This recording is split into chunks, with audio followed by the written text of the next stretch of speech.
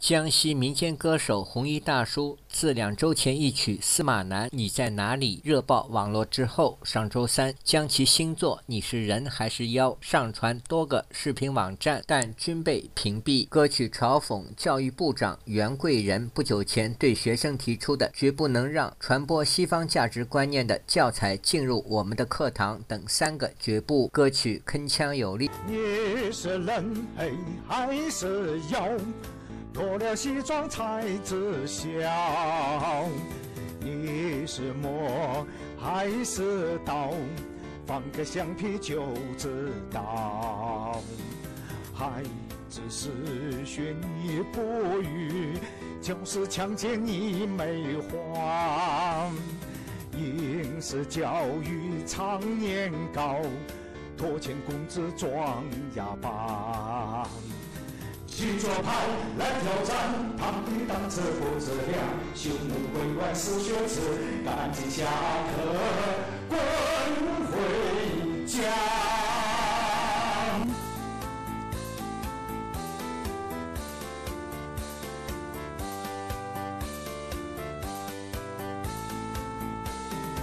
你是人还是妖？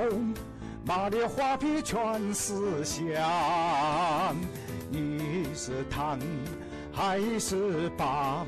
高山吃山干过伤，至于经上讲清楚，群众监督要揭发。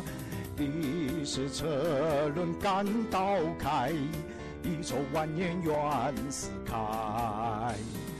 西方强，我落后，对外开放我自强，无能之地狗才，赶紧下台，回老家，回老家。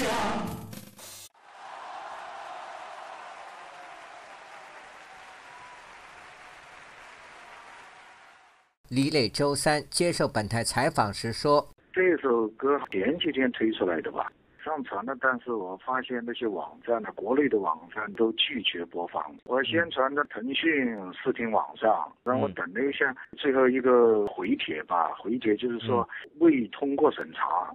后来我就转的酷优，上传了有好几个网站，但是呢，都第二天呢再搜索一下都没有被播放出来了。各个网站呢，它都都控制很，没办法上去。所以你搞什么宪法上写的那个公民有这个文艺创作的自由啊，没地方发表，等于是一句空话了。教育部部长袁贵仁日前提出，绝不能让传播西方价值观的教材进入中国课堂，绝不允许各种诽谤打。党的领导抹黑社会主义言论在课堂大行其道，以及绝不允许教师在课堂上发牢骚、泄怨气、把不良情绪传给学生等三个绝不，引发高校师生和社会舆论热议。而中国官方媒体近期连续针对西方价值观和公共知识分子进行批判。李磊说，目前网民对袁贵仁的批评很尖锐，这关系到中国的思想解放。袁的言论对中国长远的。思想解放和对外开放具有很负面的毒化作用，在大是大非的问题上，民众不能容忍这位教育部长对思想的亵渎，要严肃批判，所以创作了这样的歌曲。他说。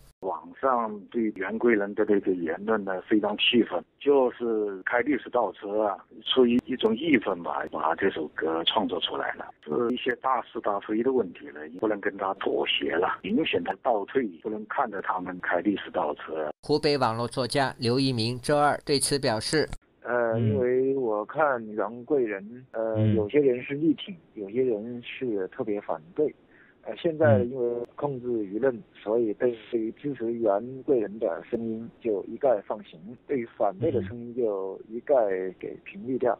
呃，所以红衣大叔做的这首歌。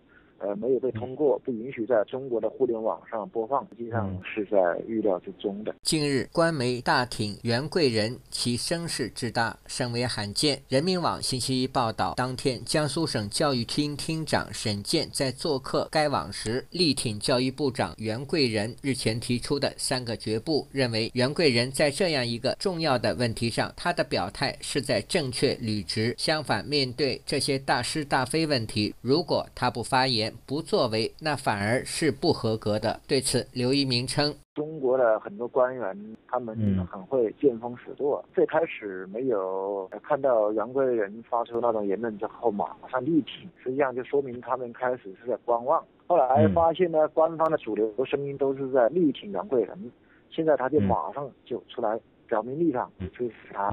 实际上也是为了达到他的政治目的。”李磊两周前创作的《司马南你在哪里》，讽刺司马南一贯极左、顽固坚持共产主义，死不承认共产主义失败的事实，本人却身居美国。作品上传两天的点击量超过五万次，而之前的多首创作歌曲只是被部分网站屏蔽，但未像这次被所有网站封杀。以上是自由亚洲电台特约记者乔龙的采访报道。